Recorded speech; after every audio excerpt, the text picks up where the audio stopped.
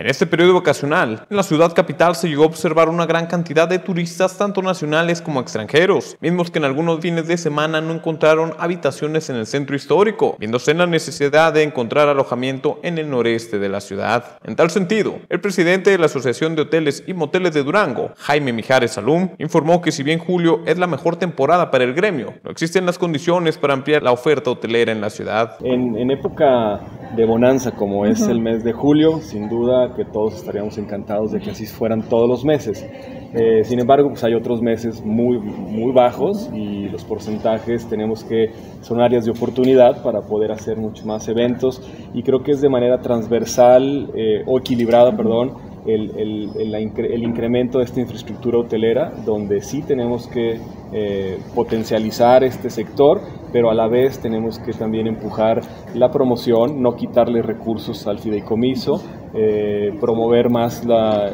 todo el tema de negocios, de convenciones, para que a su vez pues haya la capacidad hotelera, pero también haya pues la demanda, ¿no? Entonces va, va de la mano. Sin duda que si nos basamos solamente por el mes de julio, en época de feria, pues todos estamos emocionados por eso y no sería el parámetro ideal para un, negocio rentable, ¿no? Porque al final de cuentas son empresas que si no son exitosas, pues eh, su personal es el que va a batallar y sin duda la inversión pues no, no, no va a estar al 100%.